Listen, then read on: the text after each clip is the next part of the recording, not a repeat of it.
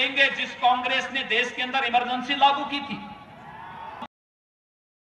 संविधान का गला घोटने का कार्य किया था, वह कांग्रेस आज संविधान की दुहाई दे करके देश के अंदर बने एक अच्छे माहौल को, देश के अंदर बने हुए एक अच्छे कानून को किस तरीके से नकारने का कार्य कर रही है, ये कानून को और देश के संविधान को नकारने का मतलब बाबा साहब भीमराव अंबेडकर का अपमान। देश के संविधान का अपमान करने का मतलब डॉक्टर राजेंद्र प्रसाद जी जैसे विरोधियों का अपमान और कांग्रेस से कार्य लगातार कर रही है। उसके सहयोगी लगातार ये कार्य कर रहे हैं। लगातार एक साजिश के तहत दुष्प्रचार कर रहे हैं। लेकिन मैं आपको बताना चाहता हूँ, भाइयों बहनों, मोदी जी ने पाँच अपने पिछले कार्यकाल के दौरान, आपने मोदी जी का कार्यकाल देखा पिछला पाँच साल का। उन्होंने मकान दिया, प्रधानमंत्री आवास योजना में क्या किसी की जाति, किसी का मत और मज़हब पूछा? उन्होंने रसोई गैस के कनेक्शन उज्ज्वला योजना में दिए, किसी की जाति और किसी का मज़हब पूछा? उन्होंने प्रधानमंत्री किसान सम्मान निधि दिया क्या किसी की जाति, किसी का मज़हब पूछा? सौभाग्य योजना में विद्युत के कनेक्शन दिलवाए। क्या किसी की जाति और मज़हब पूछा? आयुष्मान भारत में पाँच लाख रुपए हर गरीब को प्रतिवर्ष स्वास्थ्य की सुविधा देने की व्यवस्था की। क्या किसी की जाति और मज़हब पूछा? जब शासन की योजनाओं में किसी की जाति, किसी का क्षेत्र, किसी का भाषा, किसी का बात, किसी का मज़हब नहीं पूछा, बल्कि हर गरीब को, गाँव को, किसान को, नौजवान को, महिलाओं को, इन सबको योजनाओं का लाभ जब बराबर दिया तो फिर मोदी जी पर आरोप किस प्रकार का लग रहा है? ये कौन लोग हैं जो लोग देश के वातावरण को खराब करने का प्रयास कर रहे हैं? और दूसरी तरफ़, भाइयों बहनों, मैं आप सबसे कहना चाहता हूँ। मैंने देखा देखिए जो लोग गलतफहमी पैदा कर रहे हैं। मैंने महर्षि अरविंद की एक बात सुनी थी। उन्होंने एक बात कही थी। महर्षि अरविंद देश के महान स्वतंत्रता संग्राम सेनानी भी थे। बहुत बड़े क्रांतिकारी थे। और महर्षि अरविंद ने एक बात कही थी, और बात उन्होंने इस रूप में कही थी कि देश के अंदर, भाइयों बहनों, उन्होंने एक बात कही थी, और बात कही थी कि इस युग का सबसे बड़ा पुण्य है देश के हित में कार्य करना और उन्होंने सबसे बड़ा पाप माना था उन्होंने सबसे बड़ा पाप माना था देश के साथ गद्दारी। और मुझे लगता है कि देश के खिलाफ गद्दारी करने वाले लोग किस प्रकार के पाप के भागीदार बनते हैं, ये आपने देखा होगा। अनेक अवसरों पर ये उदाहरण हम सबके सामने देखने को, सुनने को मिलते हैं। मैं केवल एक उदाहरण आपके सामने दूँगा।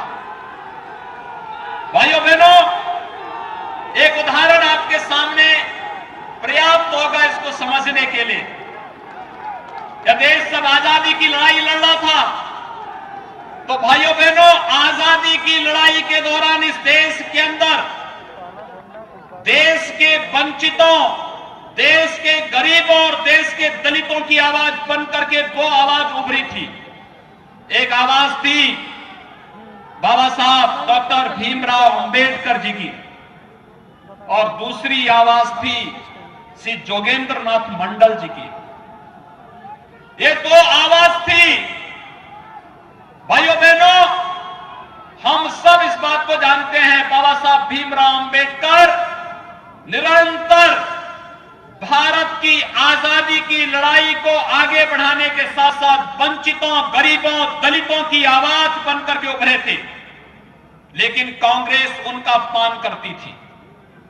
1946 में नेशनल असेंबली के चुनाव में बाबा साहब भीमराव अंबेडकर को मुंबई से इन्होंने हरवाने की, का षड्यंत्र भी किया था।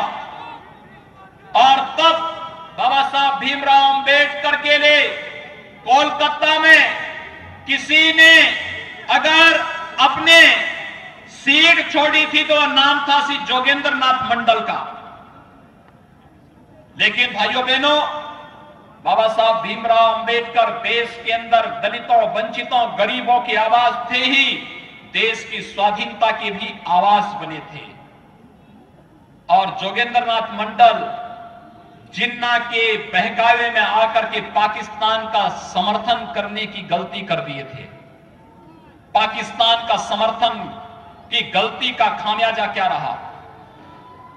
देश का दुर्भाग्यपूर्ण विभाजन हुआ।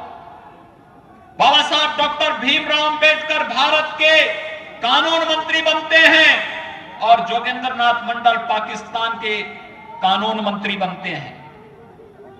लेकिन बाबा साहब भीमराव अंबेडकर भारत के संविधान के शिल्पी भी बनते हैं और आज़ाद भारत बाबा साहब भीमराव अंबेडकर को भारत रत्न से सम्मानित भी करता है और बाबा साहब भीमराव अंबेडकर से जुड़े हुए पाँच स्थानों को पंच तीर्थ के रूप में मोदी जी ने विकसित करके देश और दुनिया के वंचितों को एक नया संदेश भी दिया है।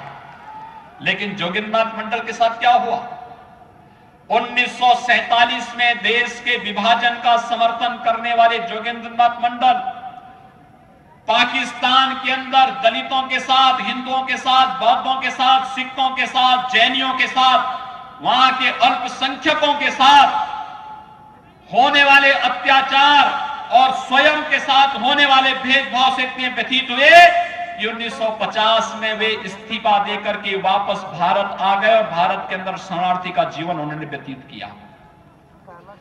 कोलकाता में ही एक शरणार्थी के रूप में गुमनाम मौत उनको जीने के लिए मजबूर होना पड़ा था और 1964 में उनकी मृत्यु हो गई। जोगेंद्र नाथ मंडल का नाम कोई नहीं जानता। याद रखना, देश के खिलाफ जो लोग गद्दारी कर रहे हैं, वे एक पाप कर रहे हैं। और उस पाप का खामियाजा उनके सामने केवल गुमनाम जीवन के रूप में ही होगा।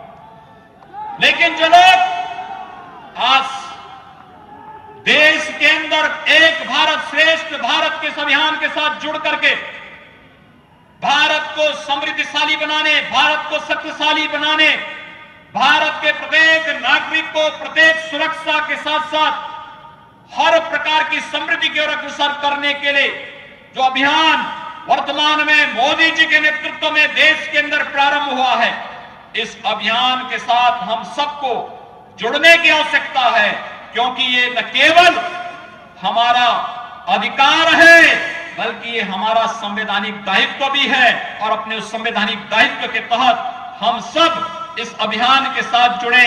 यही आपसे अपील करने के लिए कि हम घर घर जाकर के जिस अभियान का हिस्सा बने।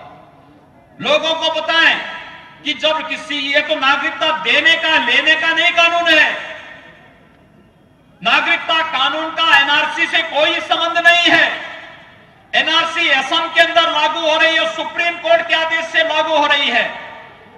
लेकिन कैसे गुमराह करके अनावश्यक माहौल को खराब करने की जो कुछ चेष्टाएँ हो रही हैं, हम सब उससे अवगत हो प्रत्येक नागरिक को इसके बारे में अवगत कराएँ और विकास और समृद्धि की इस मुख्य धारा के साथ जुड़ करके एक भारत श्रेष्ठ भारत के निर्माण में हम सब अपना योगदान दे सके। यही आप सबसे अपील करते हुए मैं एक बार पुनः आप सबको मकर संक्रांति की हार्दिक बधाई देता हूँ, शुभकामनाएँ देता हूँ और नागरिकता कानून के समर्थन में इतनी भारी संख्या में आने के लिए आपका अभिनंदन करते हुए वाणी को विराम देता हूँ। धन्यवाद। जय हिंद।